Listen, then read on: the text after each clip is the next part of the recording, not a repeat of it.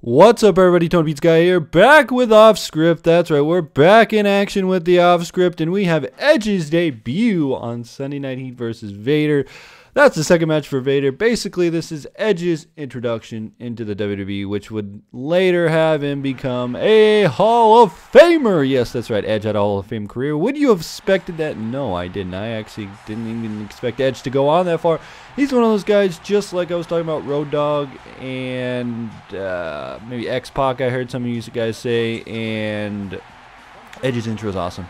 And guys like that that were there, Steve Blackman, Ken Shamrock, they were there, but they never actually reached like main event status. They were just mid cards, and you know that was fine because that's what they wanted to do. They wanted that to do that in their career, so that was good. And whatever, you know, it worked out for them. They made their money. They probably made a ton of money because it was Attitude Era and everything was crazy. Perform the downward spiral and pin him in 10 seconds, win in less than 4 minutes. Okay, this is going to be piece of cake if I can get up. And let's get Vader. But really, Edge, when you think about Edge, you, remember like him when he was at the Brood and stuff. I never thought he was gonna go anywhere, but turns out he did stuff. Yeah, that's the best way to put it. He did stuff. Edge did stuff, and he became a Hall of Famer. It's like when people say, "And one thing led to another." Wait, that, that doesn't mean anything. It, it doesn't make sense. Like, yeah, Edge debuted on Sunday Night Heat, and one thing led to another, and he became a Hall of Famer. What? What happened? How? No. Okay. Ever since Edge became the rated R superstar, he totally changed his persona, was with Lita, and that made him a great main eventer, in my opinion. I never really liked the face Edge. I always liked the heel rated R superstar Edge. A lot better than the face Edge. I remember Edge and Hogan won the tag belts together. The first time Hogan ever won the tag belts, and the first time that Edge won it with Hogan. And it's a milestone for Hogan's career and milestone for Edge's career. But anyway, what do you think of Edge? I want to know. I want to know what you guys actually, your, your opinion on Edge is. Do you think that he should be in the Hall of Fame like he is, or do you think it was too soon? Like the Hall of Fame shouldn't have happened already and he should have waited, you know?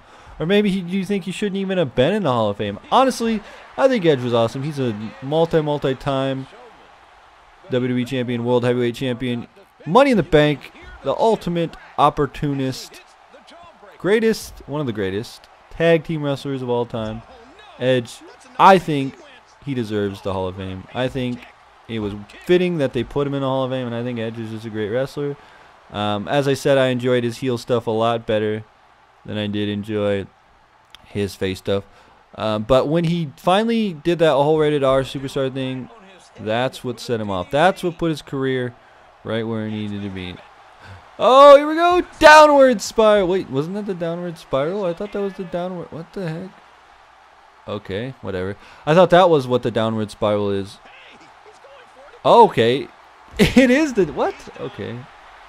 Whatever. Alright, downward spiral. One, two, three. Edge beats Vader in his debut match on Sunday Night Heat. Yes, Sunday Night Heat. Sunday Night Heat. Sunday Night Heat. There we go. We have it. And Edge your debut in the WWE is pretty dang awesome, Edge. We'll have to say that. Your debut was awesome. Well, no, his debut wasn't that great, but his whole career was great. And thank you, Edge. Thank you, Edge. What did we unlock? We unlocked Edge and Sunday Night Heat. Tony Pizza Guy. Frag out. I urge you guys to check out these two videos. First, we have Battlestar Galactica Blood and Chrome Episode 1. It is great. Go check it out on Machinima Prime. And we have my Universe mode in WWE 13. Check them out.